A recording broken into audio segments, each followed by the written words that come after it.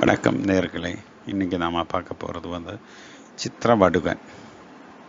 சித்திரவடுகன் வந்து நம்மளோட பாடியோட அந்த எலும்பு சம்பந்தமான விஷயங்களாகும் சித்திரவடுகம்னு சொல்கிறோம் பாடியோட சித்திரம். சித்திரம்னு சொன்னால் பிக்சர் வந்து அந்த எலும்பில் தான் நம்ம ஒரு ஸ்ட்ரக்சர் மெயின்டைன் பண்ணணும். இந்த ஃப்ளஷ் இதெல்லாம் வந்து ஒரு ஸ்ட்ரக்சர் வராது.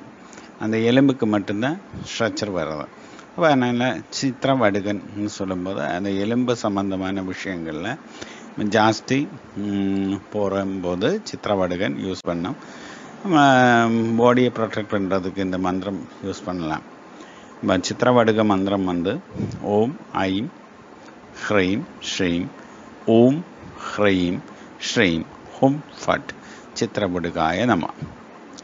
ஓம் ஐம் ஹ்ரீம் ஸ்ரீம் ஓம் ஹ்ரீம் ஸ்ரீம் ஹோம் ஃபட் சித்திரவடுகாய நம.